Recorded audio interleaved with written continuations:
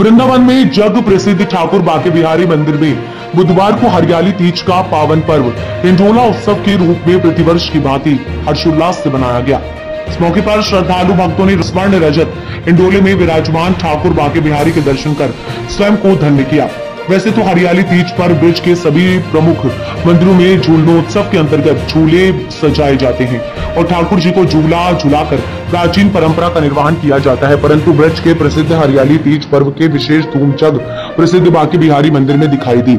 जहाँ प्रातःकाल ठाकुर बाके बिहारी लाल को मंदिर के गर्भगृह से बाहर निकाल कर करीब 32 फुट चौड़े व 12 फुट ऊँचे विशाल स्वर्ण रजत इंडोले में विराजमान कराया गया है और उनके दोनों ओर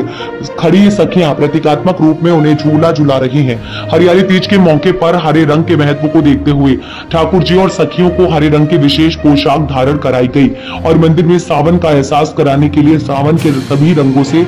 सजावट की गई है। वही मंदिर परिसर की भव्य सजावट के साथ ही ठाकुर जी की हरे रंग की पोशाक और स्वर्ण रजत के आकर्षक श्रृंगार से मन को मोहने वाला सौंदर्य भक्तों को अपनी ओर आकर्षित कर रहा था। वहीं कुछ श्रद्धालु महिलाओं ने मल्हार गाकर अपनी खुशी व्यक्त की का उत्सव है बिहारी जी का मैं वृंदावन बांके बिहारी मंदिर से आशीष गोस्वामी जैसा कि आप देख रहे हैं बांके बिहारी जी महाराज का हिंडोला उत्सव है सावन के महीने में हरियाली मावत पर बांके बिहारी जी महाराज के फूल बगले विश्राम होने के बाद तीज के दिन बांके बिहारी जी महाराज जिसे आप लोग हरियाली तीज के नाम से जानते हैं बिहारी जी महाराज आज सोने के हिंडोले में विराजमान है। बहुत दिव्य मुहूर्त है, बहुत सुंदर दर्शन है।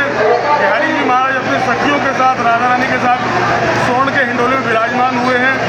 देखने वाली छटा है, क्योंकि बिहारी जी महाराज का ये श्रृंगार, ये स्वरूप और ये सुंदर नज़ारे